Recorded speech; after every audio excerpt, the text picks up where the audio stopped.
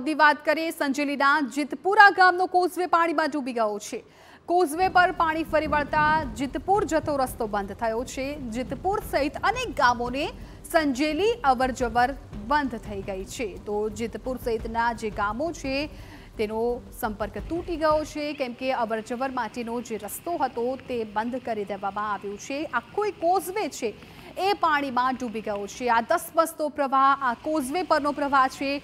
Causeway છે કે નદી છે એ ખ્યાલ જ નહીં આવે તમને, કેમ કે આ કોઝવે પર નદીના પાણી છે, ફરી વળ્યા છે અને ધસમસતો પ્રવાહ છે, જેના કારણે રસ્તો બંધ કરવાની ફરજ પડી છે અને અનેક ગામ છે સંપર્ક વિહોણા થઈ ગયા છે.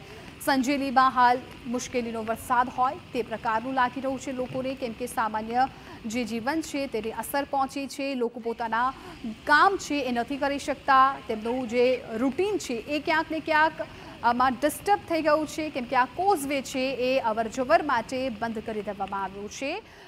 દાહોદનો આ સંજીવી વિસ્તાર કે જ્યાં જીતપુરા ગામ કે જ્યાં કોઝવે પાણીમાં ડૂબી ગયો છે. આ ત્રણ દ્રશ્યો તમે જુઓ. આ દાહોદના ત્રણેય દ્રશ્યો છે.